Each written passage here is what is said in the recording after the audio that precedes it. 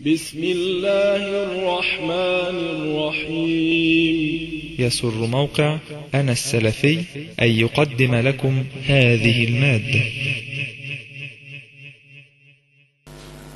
كنا في كتاب عمدة الأحكام الحديث رقم كام؟ في باب الطهارة صح؟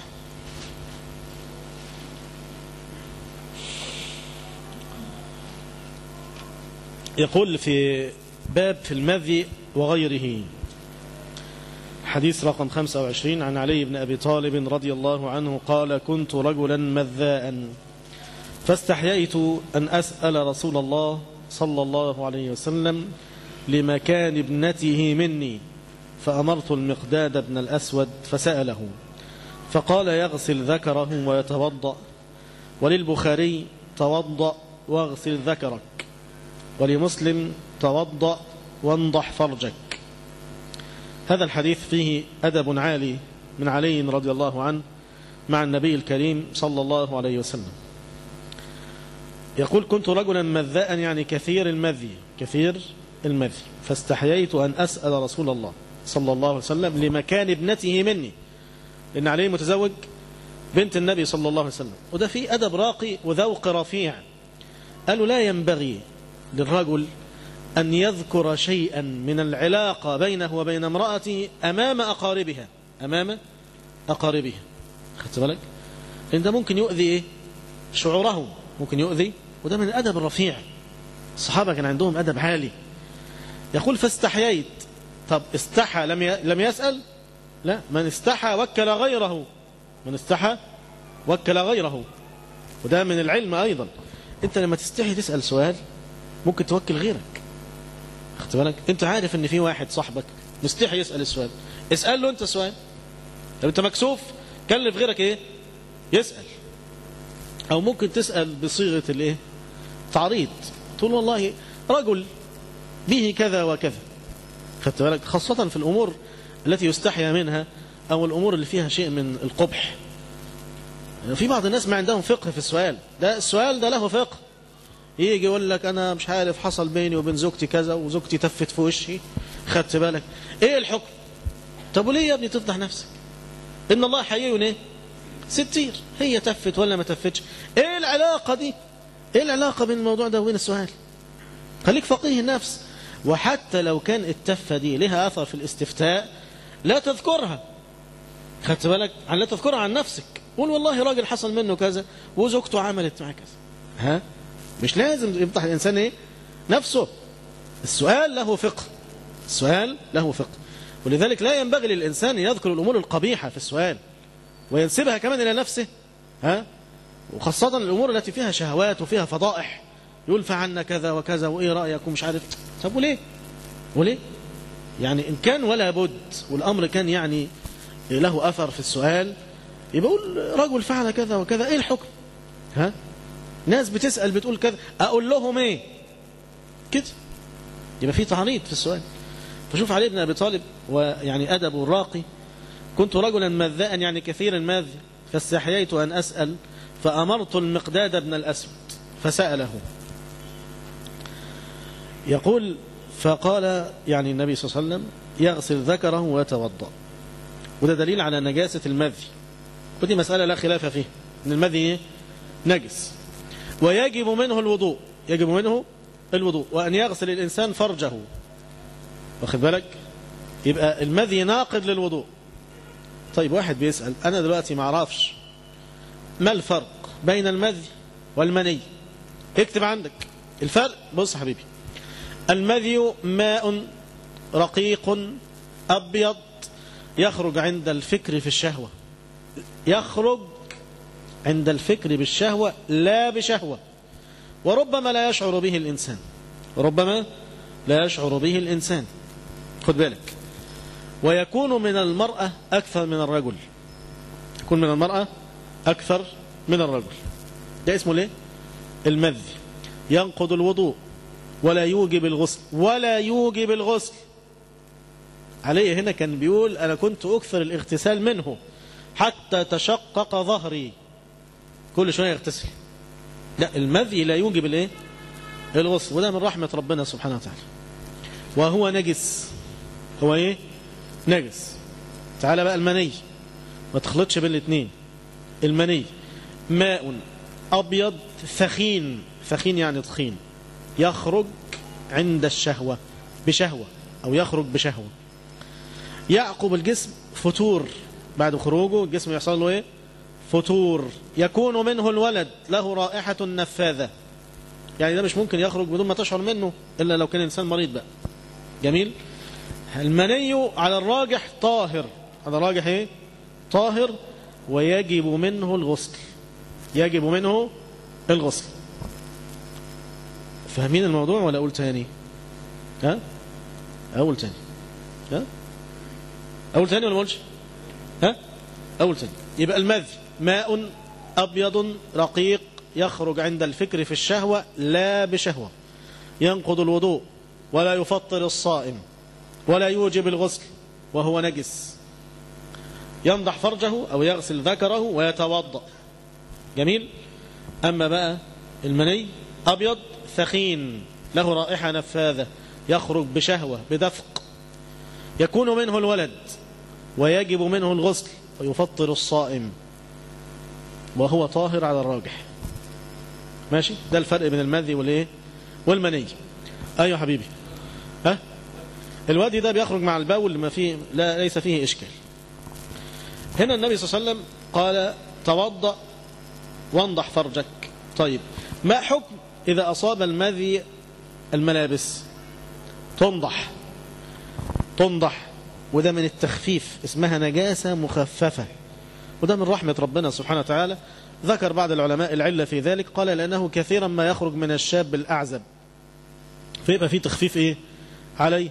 أنه لا يجب عليه أن يغسل الملابس من المذي وإنما يكفي ليه؟ النطح. طيب أنا بسألك سؤال. يجب غسل المني؟ ها؟ أيها محمد. لا يجب. لا يجب غسل المني. إحنا قلنا المني إيه؟ طاهر. إيه الدليل على طهارية على طهارته؟ قول عائشة رضي الله عنها كنت أفركه من ثوب رسول الله صلى الله عليه وسلم إذا كان يابسا وكنت أغسله أو أمسحه إذا كان رطبا. أمسحه إذا كان رطبا. وفي حديث ابن عباس قال إنما هو بمنزلة المخاط والبساق وإنما يكفيك أن تمسحه بإذخرة. ده دليل على طهارة الإيه؟ المني واخد بالك؟ ولكن يستحب غسله يستحب غسله. يبقى قلنا حكم المذ وحكم الايه؟ المني. خلاص كده اهو. ادخلوا بقى في الحديث اللي اللي بعده. بص في الكتاب حديث رقم 26 عن عباد ابن تميم. عن عبد الله بن زيد بن عاصم المازني رضي الله عنه قال شكي إلى النبي صلى الله عليه وسلم الرجل الذي يخيل إليه أنه يجد الشيء في الصلاة. فقال لا ينصرف حتى يسمع صوتا أو يجد ريحا. حديث دوت مهم جدا. بيدل على قاعدة شرعية من قواعد الفقه الإسلامي. إيه القاعدة الشرعية دي؟ لا أنا مش عايزك تنام. احفظ القاعدة دي وبعدين نام. خد بالك يا حبيبي خد بالك معايا. إن الأصل الأصل بقاء ما كان على ما كان. حتى يأتي دليل ناقل. بقاء ما كان على ما كان حتى يأتي دليل إيه؟ ناقل. أو بيقولوا إيه؟ إن الشك لا يرفع اليقين. الشك لا يرفع اليقين. قول لي مثال. هقول لك مثال حاضر. زعلش خد بالك. أنت دلوقتي حضرتك بتملك هذا الثوب اللي أنت لابسه ده. شكيت. انت بعته ولا ما بعتوش؟ شكيت. يبقى هو ملكك ولا مش ملكك؟ ملكك. انت حضرتك متجوز. شكيت. طلقت ولا ما طلقتش؟ يبقى الأصل إيه؟ طلقتش. طب أنت طلقت. شكيت. رجعت ولا ما رجعتش؟ يبقى أنت إيه؟ أنت مطلق دلوقتي. جميل. أنت متوضي شكيت. أحدثت أم لا؟ يبقى أنت إيه؟ متوضي أنت واخد بالك؟ طيب. انت محدث. شكيت اتوضيت ولا ما اتوضيتش يبقى انت إيه؟ محدث. واضح كده؟ الثابت بيقين لا يرفع إلا بيقين. خلاص كده اهو؟ يعني دلوقتي ساعات الواحد يقول لك أنا كنت فاكر إن أنا متوضي بعد صلاة الظهر. دخلت صلاة العصر عليا وأنا شاكك. أنا حصل مني حدث ولا لا؟ نقول له إيه؟ نقول له اطرح الشك جانبا. والأصل إن أنت متوضئ وصلي. طب يقول أنا آخر مرة فاكر إن أنا لم أكن متوضئا. وأنا شاكك اتوضيت ولا لا؟ نقول له لا لازم تتوضى لازم إيه؟ لأن أنت شاكك في الوضوء. حصل ولا ما حصلش؟ اطرح الشك إيه؟ جانبا. خلاص كده أهو. أو الحديث ده بيدل على هذه القاعدة المهمة اللي هي بتدفع عن الإنسان الوسوسة وتريح قلبه. آه ناس الموسوسين دول ربنا يعافينا ويعافيهم يا رب. ربنا يشفيهم بيقول لك أدخل في الصلاة وأقول الله أكبر. وبعد ما أخلص الفاتحة أقول الله ده أنا باين عليا ما قلتش الله أكبر. أروح طالع من الصلاة وداخل تاني. الله أكبر. وأقرأ الفاتحة وصورة وأركع وبعدين أشك إن أنا ما قلتش الله أكبر. أروح راجع تاني. يا ابني مش هنخلص. إحنا مش هنخلص. الأصل اللي أنت دخلت في الصلاة ولا ما دخلتش؟ الأصل اللي أنت لاعبا أم هازلا؟ انت جاي تلعب ولا جاي تصلي؟ تصلي بس خلاص. اللي فات محله لا تفكر فيه. اللي فات محله لا تفكر إيه؟ فيه. ولو فتحنا الباب دوت تبقى مشكلة. أسئلة كتير بتيجي يقول لك إيه؟ أنا بعد ما صليت المغرب شكيت إن أنا غسلت إيدي في الوضوء ولا لا؟ مسحت رأسي ولا لا؟ رحت رايح متوضي تاني وعايد الصلاة تاني. غلط. غلط. انت تسأل أي واحد يقول لك كده. تقول له تقدر تقسم بالله العظيم. اللي انت نسيت؟ يقول لك لا ما أقدرش. أنا شاكك. طالما شاكك خلاص. دع الشك إيه؟ جانبا. صلاتك صحيحة وضوءك صحيح. الحتة دي مهمة جدا خد بالك. آه حتى مش نفتحش على نفسنا باب الإيه؟ الوساوس والشيطان سبحان الله بيضيق على الإنسان. خاصة لما يكون في بداية الالتزام بداية الطاعة لسه داخل بيصلي في المسجد يجي له بقى الشيطان. ده رجلك مش عارف فيها إيه وإيديك ما مش عارف. صلاتك والحكايه والروايه يضيق عليه ها أمر دينه وأمر عبادته. الحديث الذي يليه حديث أم قيس بنت محصن الأسدية أنها أتت بابن لها صغير لم يأكل الطعام. إلى رسول الله صلى الله عليه وسلم فأجلسه في حجره فبال على ثوبه فدعا بماء فنضحه على ثوبه ولم يغسله. الحديث ده أول ما تستفيد منه حسن خلق النبي صلى الله عليه وسلم وكمال تواضعه عليه الصلاة والسلام. النبي صلى الله عليه وسلم هو النبي صلى الله عليه وسلم رسول الله وكان أمير المسلمين والذي يحكم بينهم وكان القاضي بينهم وكان المعلم وكان قائد الجيوش عليه الصلاة والسلام وكان له تسع زوجات تسع أبيات عليه الصلاة والسلام. كل ذلك ولم ينشغل النبي صلى الله عليه وسلم أنه يتلقى طفلا صغيرا يجلسه على حجره مش أنا مش فاضي. خدت بالك؟ أو النبي صلى الله عليه وسلم يعرض أبدا. ها؟ ويأخذ الصبي يجلسه على إيه؟ على حجره حتى يبول الصبي على ثوب النبي الكريم صلى الله عليه وسلم. فلا يتأفف ولا يتدجر ولا يفزع الصبي. حتى كمان مش يرميه كده مثلا ولا يلقيه أبدا. كمال حلم النبي صلى الله عليه وسلم وسعة صدره عليه الصلاة والسلام. دي أخلاق النبوة. محتاجين نتأسى بالنبي صلى الله عليه وسلم في هذه الأخلاق العظيمة الجليلة. هو ذكر الحديث هنا ليه؟ عشان بيان حكم فقهي ومسألة مهمة. إن بول الصبي الصغير لا يجب أن يغسل وإنما يكفي فيه الايه النطح أهو. فنضحه على ثوبه. أنت بتقول لي ما أنا مش فاهم الفرق بين النطح والغسل. أنت مش فاهم؟ هقول لك حاضر حاضر زعلش الغسل الماء يجري ويتقاطر. الماء يجري وإيه؟ يتقاطر. ده الغسل. أما النطح تعميم المكان بالماء برش خفيف. رش كده خفيف. ها تنطر مية كده خفيفة كده. تعمم الإيه؟ المكان سواء في الماذي أو في بول الإيه؟ الصبي. الصغير. أنت لازم تقول لي حاجة. الذي لم يأكل الطعام. اللي هو لسه إيه؟ بيرضع. بول الصبي دوت بينضح وبول الجارية يغسل طالما أنه لم يأكل الطعام. بول الأدمي نجس طبعا باتفاق العلماء. وبول الصبي نجس برضه بس خفف في إيه؟ تطهيره. خفف في تطهيره. عن عائشة أي يا حبيبي؟ الإيه؟ لا الولد بس ذكر أما البنت يغسل. حديث عائشة رضي الله عنها أن النبي صلى الله عليه وسلم أتي بالصبي فبال على ثوبه فدعا بماء فأتبعه إياه. وفي رواية لمسلم فأتبعه بوله ولم يغسله. نفس المسألة. حديث أنس بن مالك رضي الله عنه قال جاء أعرابي فبال في طائفة المسجد يعني في ناحية المسجد. فزجره الناس فنهاهم النبي صلى الله عليه وسلم. فلما قضى بوله أمر النبي صلى الله عليه وسلم بذنوب من ماء فأهريق عليه. سبحان الله. كان كثير من الأعراب عندهم جفاء عندهم غلظة. وكانوا يأتون ينادون النبي صلى الله عليه وسلم باسمه بكل جفاء. يا محمد يا محمد. وينادونه من وراء الحجرات. وكانوا يؤذون النبي صلى الله عليه وسلم. والنبي صلى الله عليه وسلم كان رقيق القلب رقيق المشاعر عليه الصلاة والسلام. وتجد أحدهم يجذب النبي صلى الله عليه وسلم من ثوبه. وأحدهم يقول يا محمد شوف الأعرابي ده ضاقت به يا أخي الدنيا حاجة غريبة يعني ضاقت به الدنيا وأرض الله الواسعة دخل يبول فين في المسجد والنبي صلى الله عليه وسلم جالس في المسجد. سبحانك يا رب. يعني الإنسان لما يشوف واحد كريم ها واحد له هيئة له هيبة والنبي صلى الله عليه وسلم ألقيت عليه المهابة ها كما قالت زينب ألقيت عليه ليه؟ المهابة. يعني كل ذلك لم يرضع هذا الرجل أن يدخل ويبول في المسجد. طبعا الصحابة قاعدين منظر صراحة طبعا خلي الإنسان ينفعل خدت بالك؟ فزجره الناس وقالوا مه مه.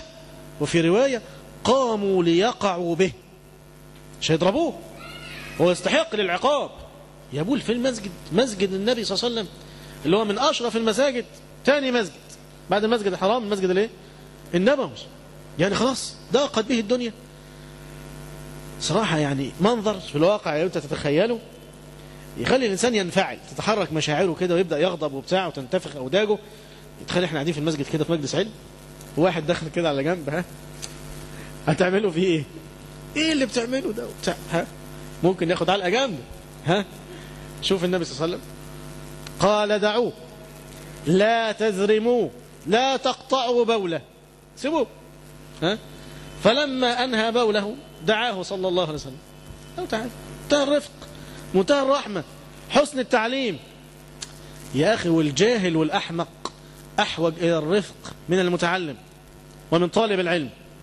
يعني طالب العلم ربما أنت مثلا لو شددت عليه في الكلام غلظت عليه في الكلام يتحمل منك. يقول لك معلش ما ده أستاذي. ها وله حق علي وأنا لابد أن أصبر. والعلم لا ينال إلا بالذل وكلام من هذا القبيل. اتعلم وعارف. أما الإنسان الجاهل ده ها؟ لو أنت غلظت عليه في الكلام هينفر. ليس هذا فحسب بل يسيء إليك وإلى الدين وإلى العلم. يطلع أنت عارف يقول إيه؟ يقول له يقول لصاحبه دخلت المسجد أصلي ركعتين ضربوني. هيقول كده. دخلت المسجد مسجد السنيين ها؟ أصلي ضربوني. يا راجل انت دخلت تصلي؟ يقول له اللي حصل كده. يعلم الله ويكذب ها؟ فشوف النبي صلى الله عليه وسلم وحسن تعليمه عليه الصلاة والسلام ها؟ تركه حتى قضى بوله ثم دعا قال إن هذه المساجد لا يصلح فيها شيء من هذا البول وهذا القدر إنما هي لذكر الله إنما هي للصلاة. في حديث آخر أن هذا الأعرابي عندما ركب جمله قال اللهم ارحمني ومحمدا. ولا ترحم معنا أحدا. معجب أوي بالنبي صلى الله عليه وسلم. خدت بالك؟ سلوك النبي صلى الله عليه وسلم عجبه جدا أثره. ولكن هو لم يحسن التعبير. ما هو لم يتعلم شيئا. ارحمني ومحمدا ولا ترحم معنا أحدا. فالنبي صلى الله عليه وسلم يقول له حجرت إيه واسعا. ضيقت واسعا. ها؟ فإحنا هنا بنقف مع الحديث دوت لبيان إن بول الآدمي نجس. بول الآدمي نجس. ويكفي في تطهيره أن يصب الماء؟ عليه. خد قاعدة بقى مهمة تحفظها كده كويس. أن النجاسة تزول بكل مزيل ولو استحالت لازالت استحالت إيه؟ يعني إيه؟ يعني لو حاجة ميتة مثلا وتحولت إلى ملح يبقى الملح ده نجس؟ خلاص. طالما عين النجاسة زالت واستحالة لم يبقى فيها لا أثر ولا لون ولا طعم يبقى المكان إيه؟ طهر أحيانا مثلا بعض النساء في البيوت بيبقى السجادة عليها بول الأطفال تعرفين الأطفال اللي عندهم ثلاث سنين سنتين؟ ربما إيه؟ يتبولون على الفرش. فتاخد الفرشة تعلقها في البلكونة أو تتركها مثلا يوم أو يومين فتذهب منها الرائحة. نقول لها لو ذهبت منها الرائحة بفعل الماء والهواء والشمس ها أو بفعل الشمس والهواء خلاص طهرت. ولا يلزم أن تصب عليها ليه؟ الماء أو أن تغسلها. واخد بالك؟ لا يلزم. طالما أن الايه أن الريحة راحت والأثر النجاسة ذهبت لم يبقى لها أثر خلاص. النجاسة تطهر بكل مزيل وتطهر بالاستحالة. لو استحالت النجاسة تطهر. آخر حديث في الباب ناخده النهاردة. حديث أبي هريرة رضي الله عنه قال سمعت رسول الله صلى الله عليه وسلم يقول الفطرة خمس الختان والاستحداد وقص الشارب وتقليم الأظفار ونتف الإبط. الفطرة الفطرة يعني يعني السنة القديمة. فطرة الله التي فطر الناس عليها. ربنا فطر العباد على الحنيفية فطرهم على الميل إلى الله سبحانه وتعالى. فطرهم على محبة النظافة والطهارة. لذلك القذارة ليست من الدين وليست من الفطرة. خدت بالك؟ فالنبي صلى الله عليه وسلم يبين أن من هذه الأشياء الخمس من الفطرة.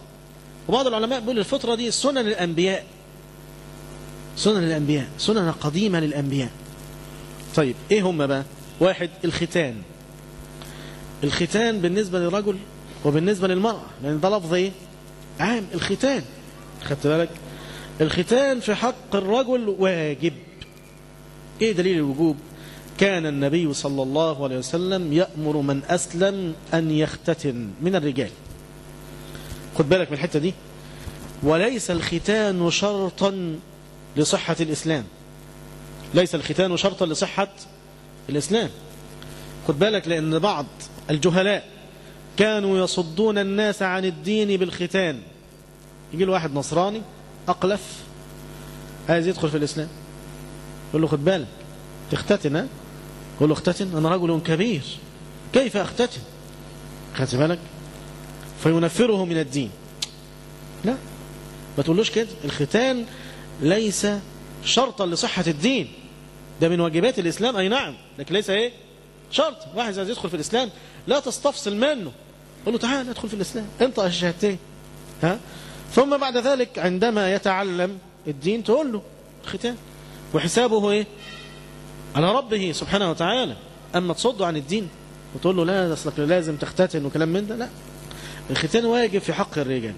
واختتن إبراهيم عليه السلام وهو ابن ثمانين سنة.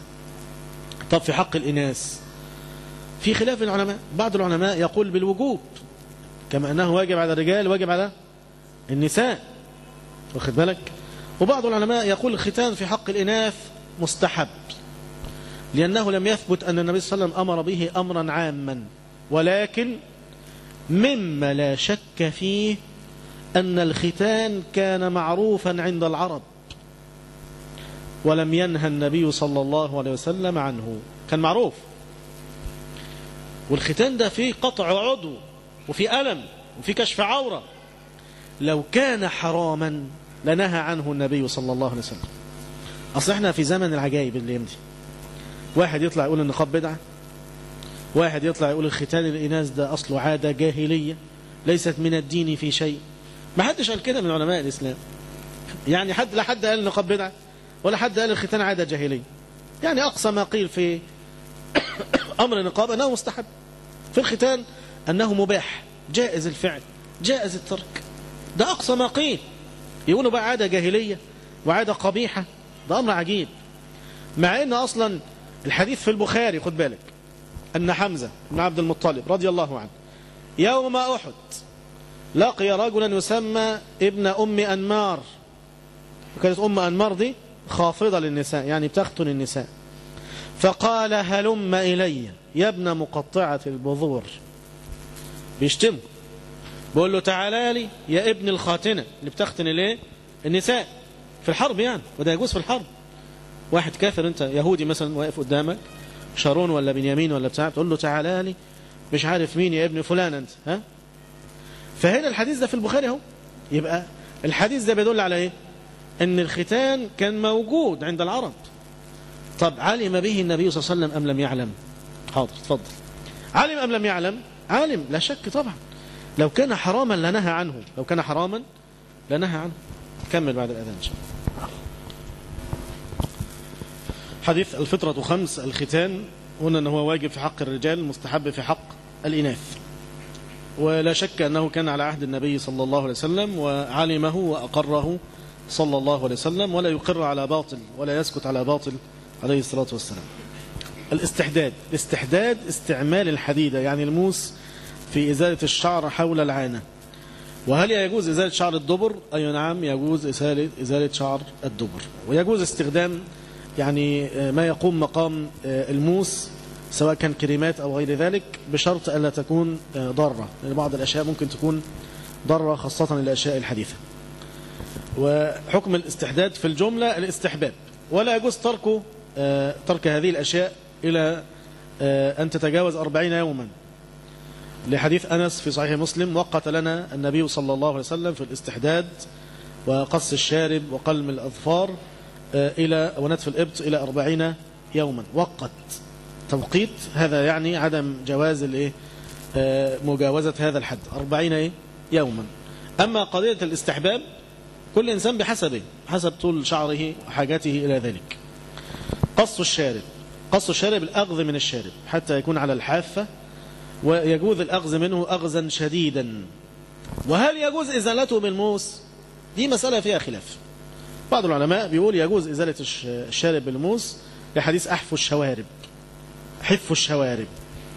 وبعض العلماء بيمنع من ذلك ولعل الأقرب والأفضل والله أعلم ألا يستأصله يعني لا يزيله بالموس ألا يحلقه ألا يحلقه بالموس وإنما يقص منه. وهذا هو المنقول عن النبي صلى الله عليه وسلم. تقليم الأظفار أيضا من سنن الفطرة ويجوز أن تتجاوز أربعين يوما.